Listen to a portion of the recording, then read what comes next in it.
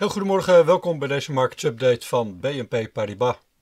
De Dow Jones trok wat aan, maar kon niet alle winst vasthouden. De chipsector zette de Nasdaq een half procent lager, vooral de oplopende 10-jaars rente tot anderhalf procent baarde beleggers zorgen.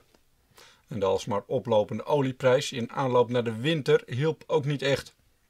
Fed-president John Williams van de belangrijke federale bank van New York heeft aangegeven dat naar zijn verwachting de oplopende inflatie van tijdelijke aard zal zijn. Hij ziet dan ook een afbouwen van de steunaankopen van 120 miljard per maand in de nabije toekomst plaatsvinden.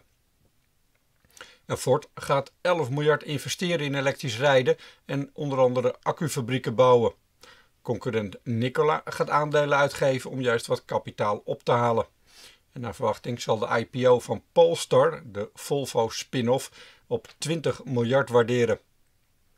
Analisten van Goldman en Nomura hebben de groeiverwachtingen voor China naar beneden bijgesteld.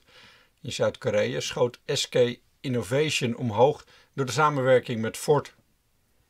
De indices waren erg wisselend qua slot met Hongkong plus 1,7%, Shanghai Composite plus 3 kwart procent en de Kospi-index sloot juist 1% lager. De futures in Amsterdam duiden ondertussen op een iets hogere opening. En het Duitse consumentenvertrouwen voor oktober is minder hard gedaald dan voorzien, maar kreeg wel een negatief cijfer. En ASMI laat vanmorgen sterke groeiverwachtingen horen voorafgaand aan de beleggersdag. Men verwacht een ruime verdubbeling van de omzet in de komende jaren, ook zal de marge blijven toenemen. Wolters Kluwer verkoopt haar Amerikaanse divisie Legal and Regulatory voor 88 miljoen dollar. De netto opbrengst van 60 miljoen zal worden gebruikt voor een aandeleninkoop. En op de agenda vandaag Kees Schiller huizenprijsindex en consumentenvertrouwen van de Conference Board. Bij de analisten zet JP Morgan Danone op kopen, koersdoel 75. Morgan Stanley zet Amazon op kopen met een koersdoel van maar liefst 4100 dollar.